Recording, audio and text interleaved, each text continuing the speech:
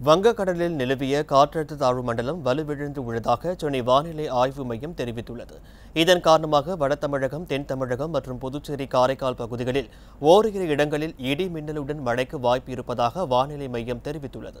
தமிழகத்தில் அடுத்த ஐந்து நாட்களுக்கு மிதமான மழைக்கு வாய்ப்புள்ளதாகவும் சென்னையில் அடுத்த இருபத்தி நான்கு மணி நேரத்திற்கு வானம் மேகமூட்டத்துடன் காணப்படும் என்றும் ஒரு சில இடங்களில் இடி மின்னலுடன் மழைக்கு வாய்ப்புள்ளதாகவும் தெரிவிக்கப்பட்டுள்ளது.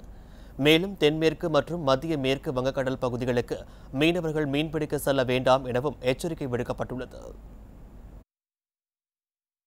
வங்கக்கடல் பகுதியில் நிலவிருந்த காற்றழுத்த தாழ்வு மண்டலம் இன்று காலை வலுவிழந்து தற்பொழுது தென்மேற்கு வங்கக்கடல் மற்றும் அதனை ஒட்டியுள்ள மத்திய மேற்கு வங்கக்கடல் பகுதிகளில் ஆழ்ந்த காற்றழுத்த தாழ்வு பகுதியாக நிலவுகிறது.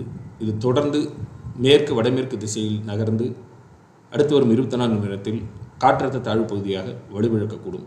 இதன் காரணமாக அடுத்து வரும் இரு தினங்களுக்கு வட தமிழகம் புதுவை காரைக்கால் பகுதியில் ஒரு சில இடங்களிலும் தென் தமிழகத்தில் ஓரிரு இடங்களிலும் லேசானது முதல் மிதமான மழை பெய்யக்கூடும்.